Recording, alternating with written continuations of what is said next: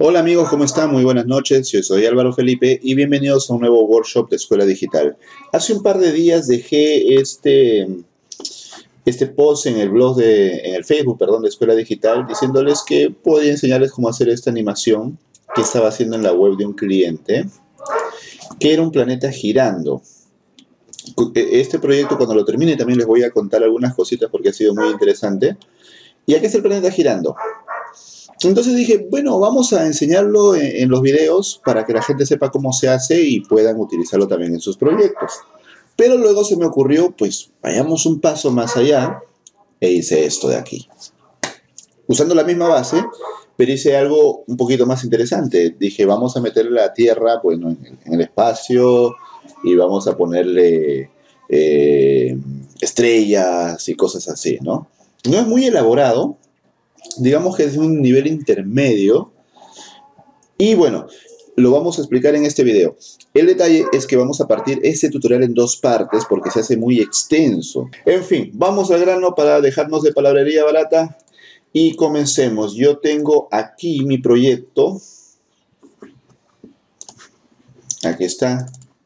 Y aquí están mis archivos. Voy a volverlo a crear de cero para que ustedes vean todo el proceso. Eh, le voy a llamar a este proyecto Tierra Girando, porque primero es Tierra. Y aquí voy a crear una carpetita llamada CSS. Voy a crear otra carpetita llamada IMG para meter las imágenes. Siempre hay que ser ordenado en los proyectos. Em, también voy a crear un archivo que se va a llamar index.html. Y en CSS voy a crear también otro archivo llamado estilos.css. Perfecto. Además, en IMG necesito dos imágenes. Esto que ustedes han visto acá, por ejemplo, es, eh, son solo imágenes. No hay GIF animados, no hay JavaScript, no hay Flash, no hay ninguna de esas cosas raras. Es completamente CSS e imágenes estáticas y es completamente responsive. Miren, ¡wow! ¡Qué cosa más impresionante! Absolutamente responsive. Esto es increíble. Entonces, vamos a lo nuestro. Necesito dos imágenes, pero ya las tengo en mi proyecto que ya lo tengo terminado. Voy a copiarlas. Una imagen es mapa.png y otra imagen son las nubes. No hay más. Bien. Entonces lo he copiado y lo voy a pegar acá en IMG. Perfecto, entonces ya tengo todos los archivos de mi proyecto listos para comenzar. Vámonos a Sublime voy a abrir el archivo o el folder, perdón, open folder, tierra, tierra girando, ahí está, perfecto. Eh, hay un atajo de teclado en Sublime para abrir el sidebar que es control K, B. Primero la K y luego la B. Miren, control K, B y se abre el sidebar. Control K, B y se cierra el sidebar. Bien curioso. Eh, ¿Por qué quiero el cyber? Porque de ahí puedo ver la estructura de mi proyecto, miren. Voy a abrir el index y voy a abrir eh, eh, estilos. Cierro el cyber. Ya, y ahora voy a abrir prepos para que, esto no es prepos, esto es, creo que el shell de GitHub o de Git. Voy a abrir prepos, prepos, esto era otra cosa, sí. Vamos a volverlo a añadir. Tierra girando. Voy a quitar esto de acá para que no me vaya a, molestar. Listo, y vamos a lanzar un live preview. Ya, vamos a ver si está corriendo mi live preview. HTML5, hoy HTML5, tierra girando, tierra girando. Ya, perfecto. Ahora vamos a linkear los estilos. Link. Eh, vamos al sidebar para ver dónde están los estilos. Estoy aquí en index.html y los estilos están dentro de la carpeta CSS. Por lo tanto, debo hacer lo siguiente. href css, o sea, me meto a la carpeta y estilos.css. Perfecto.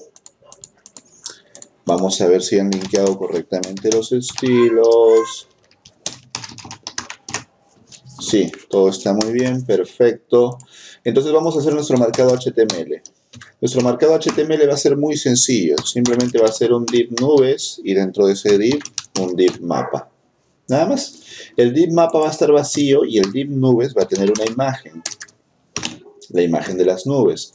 Para saber su ruta, debemos nuevamente ir al sidebar y ver que estoy yo ahorita en index.html, entonces debo meterme a la carpeta img y ahí encontrar la imagen nubes.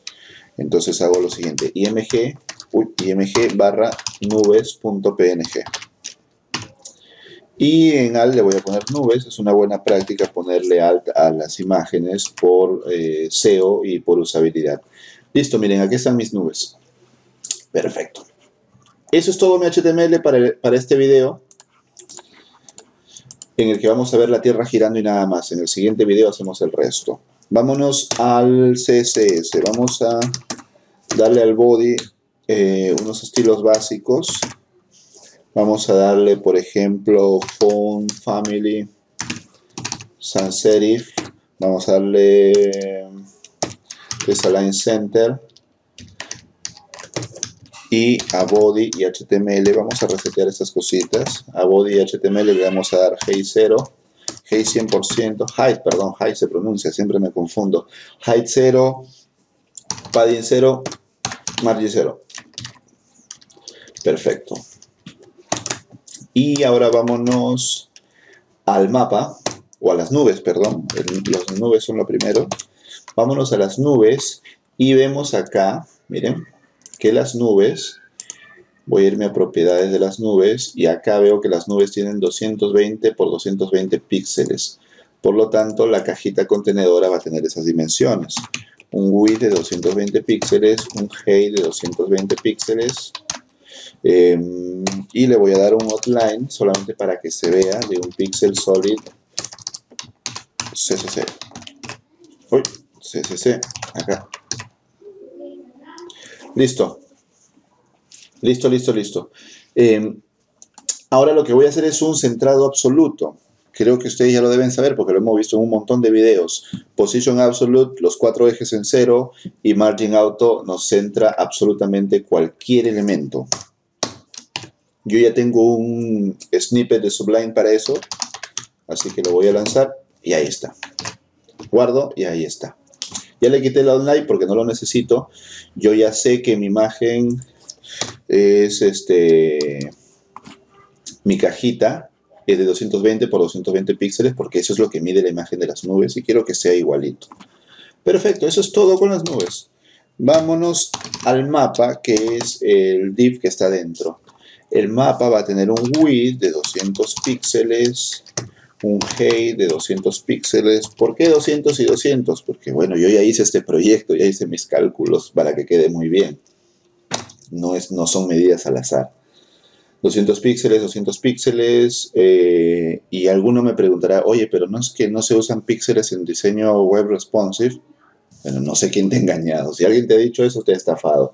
Hay casos en que se usa y hay casos en que no. Si te dicen que nunca se usan píxeles en diseño web responsive, te están estafando. están siendo charlatanes contigo. Bueno, volvamos a lo nuestro. Eh, background light blue. Ya, aquí está. Aquí está mi imagen. Miren, mi mapita está, está este, debajo de la imagen. Claro, porque si vemos el HTML, está después de la imagen. Entonces yo quiero que esté justo dentro del contenedor. Para eso voy a volver a darle el outline. Un px solid red le voy a dar. Para saber exactamente dónde está. Miren. Y ahora quiero esto meterlo justamente al centro de este, de este div, que es el div nubes. Pero como vemos en el HTML, mapa está dentro de nubes.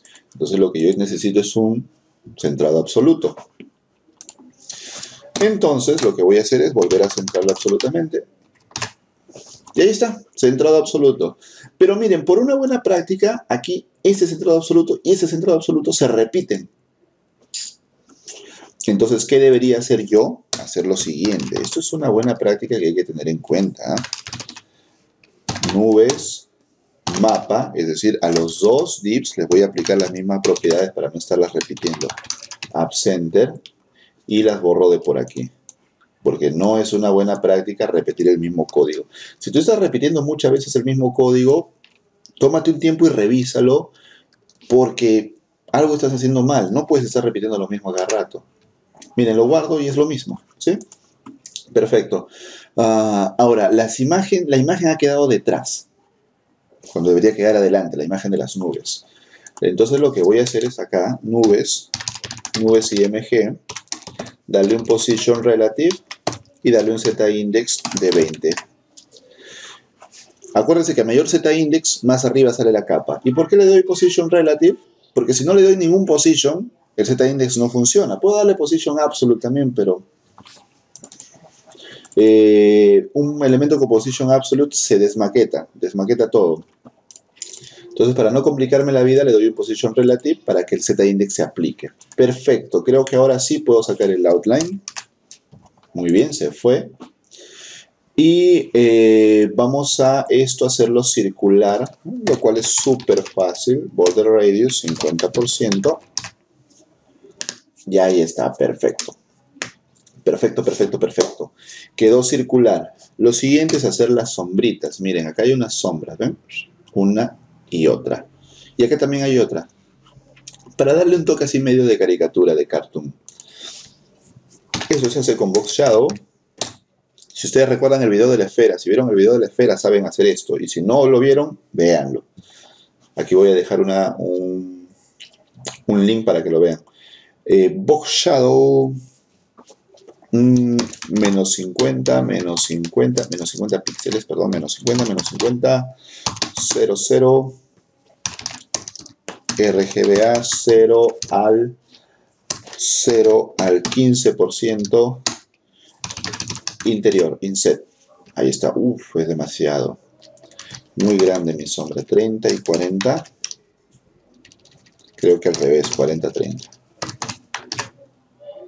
Ya está. 40-20.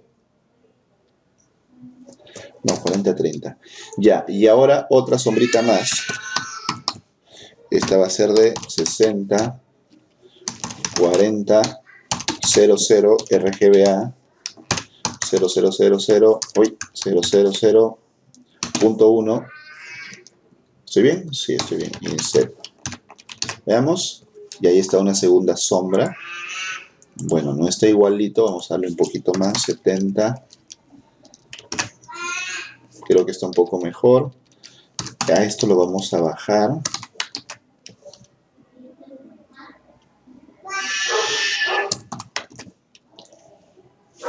Ya, me parece que sí. Aunque voy a darle 10%, aquí también lo voy a bajar. Ya, muy bien. Y por último, una sombra blanca por esta zona de aquí. Para eso le voy a dar 5 píxeles, 5 píxeles, 0, 0 y el RGBA de blanco, 255, 255.2. Vamos a ver cómo queda. Inset. ¿Lo ven por acá? Es bien ligera, pero aquí está la sombrita. Muy bien. Entonces con eso ya tengo, lo, último que me falta es meterle el mapa y hacerlo y hacer que gire esta esferita. Vamos a quitarle este background y vamos a poner como background el mapa. Background, URL, mapa.png. Y no pasa nada. ¿Por qué no pasa nada? Fácil, vamos a ver. Control KB. Y veamos, estoy en estilos.css. Ya. Y yo estoy llamando a mapa PNG. Pero mapa PNG no hay en la misma carpeta. Yo tengo que subir un nivel y luego meterme a la carpeta IMG y ahí recién encuentro mapa. ¿Sí? Entonces, ¿cómo se sube de nivel? Dos puntos. Luego me meto a la carpeta IMG y dentro de la carpeta IMG está mapa.png. Guardamos y ahora sí. Muy bien. Ahora, esta imagen es mucho más grande. Miren, es mucho más grande que el tamaño de mi, de mi esferita. Entonces, yo lo que tengo que hacer es usar la propiedad background size, que lo explicamos en el video anterior. Si no has visto el video anterior, míralo, porque si no te vas a confundir, no vas a entender esto. Le vamos a dar background size cover. ¿Por qué cover? De verdad no te lo voy a explicar hoy día, ya lo expliqué en el video anterior. Repásalo si es que eh, te confundes. Muy bien, entonces ya tenemos el mundo y ahora tenemos que hacerlo girar. Algunos de ustedes pensarán que para hacerlo girar hay que usar esas propiedades bien locas eh, de CSS, las más recientes que son pues transformaciones en 3D y animaciones en 3D. Sí, podría pensarse. Cualquiera lo pensaría, pero no, esto es simplemente una ilusión óptica que te hace creer que está girando cuando no hay nada girando. Es simplemente una animación del fondo. En el video anterior hicimos una animación eh, que hacía un barrido de una ciudad y también de una chica. Es lo mismo. Miren, esto les va a encantar. Vamos a darle Animation. WebKit, necesito WebKit. Si es para Firefox necesito Moz. WebKit Animation, voy a llamarle tierra girando. Voy a darle 5 segundos de eh, tiempo. Y eso es todo. Ahora voy a hacer los keyframes. WebKit keyframes. Keyframes para tierra girando. Y esos keyframes van a ser de from a to. Listo. En from va a ser background position eh, left center. Voy a copiar esto para no escribirlo de nuevo. Y en to va a ser background position right center. Veamos. Y ya se empieza a animar. Pero si se fijan, hay un grave problema. Se queda parado al final. Ah, pues eso, se resuelve con infinite. Pero hay un terrible problema, miren es muy, obvio que está terminando y volviendo a comenzar. Es demasiado obvio, esto no engaña a nadie. Lo primero, dense cuenta que al finalizar hay un retardo, como que viene así se disminuye la velocidad. Eso es porque eh, la velocidad de una animación por defecto es is. Y is tiene ese efecto, que viene con una velocidad y disminuye al final. Is se escribe así. Is pero nosotros queremos una velocidad constante. Para eso le vamos a dar lineal y la velocidad de animación va a ser permanente, no va a tener esas disminuciones. Veamos, lineal.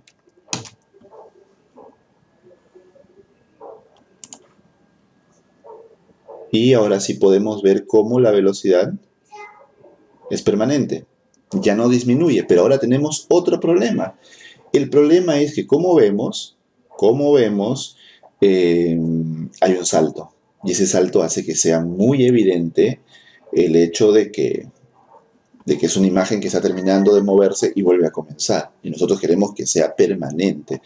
¿Cómo conseguimos eso? De la siguiente manera, fíjense.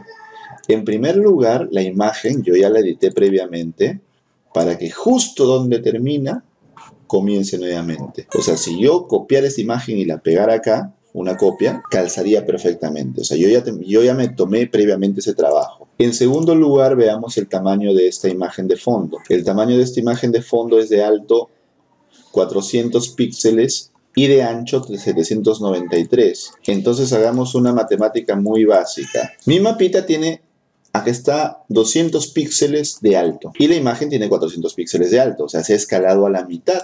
Entonces escalémosla a la mitad hemos escalado a la mitad el alto, vamos a escalar a la mitad también el ancho.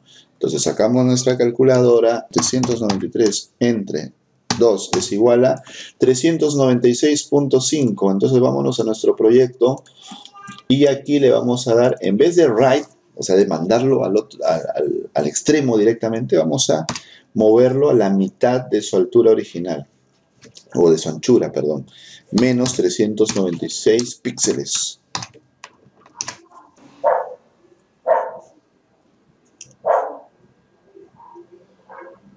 ¿Ven saltos? ¿Hay saltos ahora? No hay saltos. No, no, hay saltos. Y parece que la Tierra estuviera girando y no está girando. Es simplemente una ilusión óptica de hacer mover el fondo con la suficiente suavidad y cuidado porque como dije, yo me he tomado el trabajo de editar previamente esta imagen para que calce perfectamente, que cuando termine, comience justo nuevamente, y le hemos dado la, la medida exacta de la mitad del ancho, porque también se escaló a la mitad del alto. Entonces, hay que hacer nuestra tarea, no es cuestión de suerte nada más. Y eso es todo por el video de hoy. En el siguiente video vamos a hacer el resto, que es el cielo, el espacio, las estrellas ahí parpadeando y todo lo demás. Y lo vamos a hacer responsive.